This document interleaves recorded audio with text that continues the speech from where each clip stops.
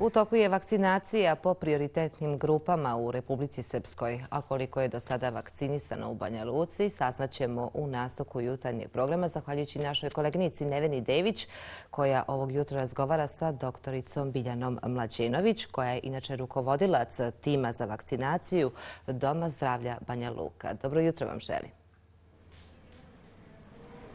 Dobro jutro još jednom tebi Nikoleta, dobro jutro našim poštovanim gledaocima. Jeste e, u Banjalučkom vele sajmu nastavljena je vakcinacija u 8 časova i ovog jutra e, su tu lica starija od 65 godina. Kako teče sam proces vakcinacije? Pitaćemo moju gošću. Biljana, dobro vam jutro. Dobro jutro. Vi se nalazite na vakcinalnom punktu Metal Sajam u Banja Luci gdje proces vakcinacije teče po uobičajnom redu i rasporedu. Danas imamo e, vakcinaciju stanovništva starijeg od 65 godina. Krećemo sa kineskom vakcinom Sinovac, a isto vršimo istovremeno i revakcinaciju zdravstvenih radnika drugom dozom Sputnika. Na ovom vakcinalnom punktu do sada je znači zaključno sa petkom vakcinisano 3631 građanin nema e, gužve, ono što primijetimo, sve je organizovano. Kada prozovete e, osobu građana, e, šta dalje ide? Jeste, znači nemamo gužve, idemo znači po planiranom, znači rasporedu tako da spisak mi dobijamo, znači pacijenata koji će biti za taj dan, znači vakcinisani, odnosno sa onim raspoloživim brojem doza koji mi imamo. Prilikom znači dolaska, ovdje znači prvo ima spisak na kome se nađe ime i prezime, onda do dolazi znači mjerenje temperature i naši redari i volonteri prate znači pacijenta do administratora. Kada se znači unose osnovni podaci posle dolazi na pregled znači kratak pregled ljekarski uz uzimanje anamnestičkih podataka i nakon toga imamo znači aplikaciju same vakcine za što su osposobljene naše znači medicinske sestre. Koliko traje sama vakcinacija?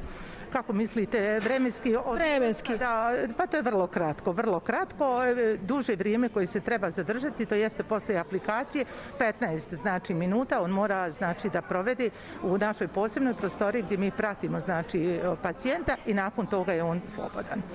Nakon vakcinacije vi građanima dijelite letke kako da se dalje ponašaju. Šta se nalaze u tim lecima? E, dobro pitanje. Znači, nakon samog procesa vakcinacije, znači, svi građani dobiju letak gdje je kratko i sažeto napisano, znači, kako se oni trebaju ponašati za vrijeme, odnosno i posle vakcinacije. Ono što je bitno da mi naglasimo našim, znači, gledalcima jeste, znači, da i dalje moramo da nosimo, znači, maske, jer ni jedna vakcina nije 100% zaštita, znači, mi moramo nositi masku, držati distancu, održavati higijenu, znači ruku i najbitnije je se vakcinisati. I na kraju ćete nam reći e, vašu preporuku za sve one građane koji su u dilemi, da li se vakcinisati ili ne i kojom vakcinom. Šta vi preporučujete? Ovako, znači, moja je preporuka da se svi vakcinišu, znači i potrebno se vakcinisati, a koju ćemo mi, znači, vakcinu primiti, u svakom, znači, slučaju zavisi šta imamo na stanju i e, kada dođe, znači, na pregled, opet ponavljam, odnosno na proces vakcinacije, mi imamo, znači, doktora koji uzima, znači, tu kratku anamnezu i on će vidjeti u slučaju zdravstvenog stanja da li tu vakcinu danas može primiti pacijent ili ne. Što bih ja rekla, znači, e, bitno je da se svi vakcinišemo, bitno je znači da nosimo masku, znači da i dalje održavamo distancu, da e, vršimo pranje ruku, odnosno higijenu i samo na taj način mi možemo znači očekivati kraj ove pandemije. Još ćete nam reći da li ste umorni s obzirom da je sav teret na vama zdravstvenim radnicima? Pa, ako ćemo iskreno, jesmo, jer ipak je ovo godina i nešto znači dug proces i mogu slobodno reći da su svi zdravstveni radnici jako umorni, uključujući moju ekipu ovdje. Hvala nam puno na izdvojenom vremenu i puno vam svakako sreće želimo. Hvala vama i pozdrav vašim gledalcima a mi ćemo svakako preporučiti svima vama, poštovani gledaoci, da se pridržavate svih postojećih mjera. Ostanite zdravi. Veliki pozdrav iz Banja Luke.